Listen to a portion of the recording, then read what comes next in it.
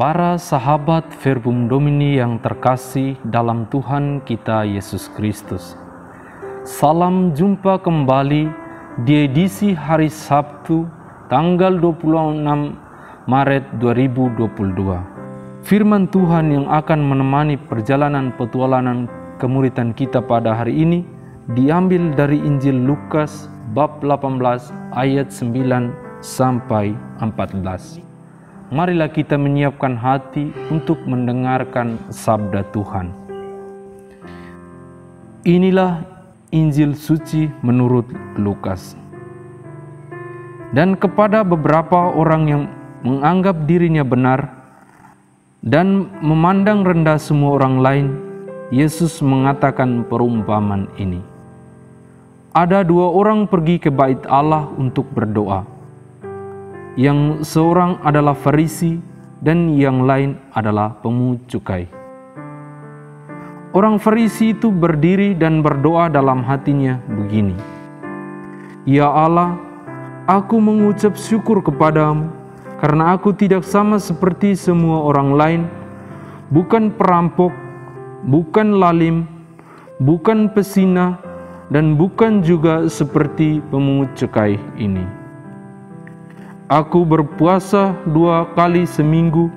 Aku memberikan sepersepuluh dari segala penghasilanku. Tetapi pemungut cukai itu berdiri jauh-jauh, bahkan ia tidak berani menengadah ke langit, melainkan ia memukul diri dan berkata, Ya Allah, kasihanilah aku orang berdosa ini.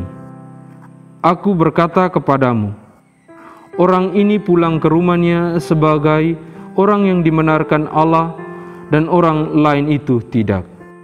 Sebab barang siapa meninggikan diri, ia akan direndahkan, dan barang siapa merendahkan diri, ia akan ditinggikan. Demikianlah sabda Tuhan. Terpujilah Kristus.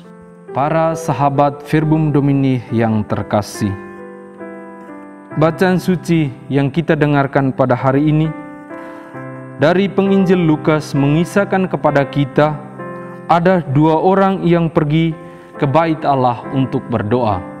Mereka adalah orang Farisi dan pengut cukai. Ketika orang Farisi berdoa, ia menyatakan kalau ia tidak sama dengan pengut cukai. Bahkan ia memaparkan telah menunaikan kewajibannya, telah beribadah dan memberi persepuluhan. Ia mengatakan kepada Allah bahwa ia adalah orang saleh, tidak sama dengan orang lain yang berdosa.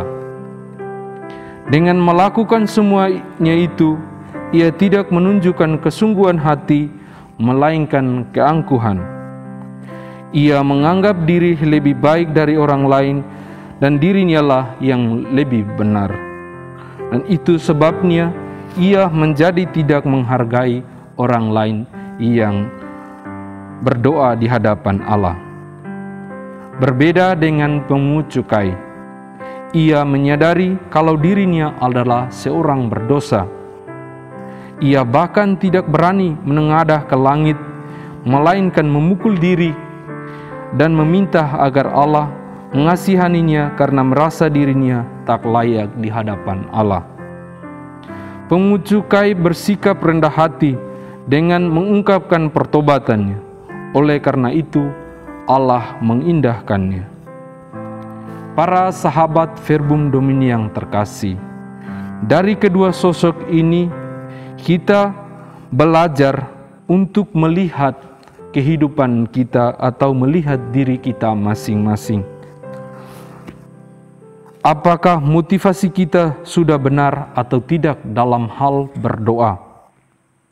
Bila tidak, belum terlambat bagi kita untuk mengubah diri atau mengubah pola hidup kita, karena Allah mengenal hati kita masing-masing.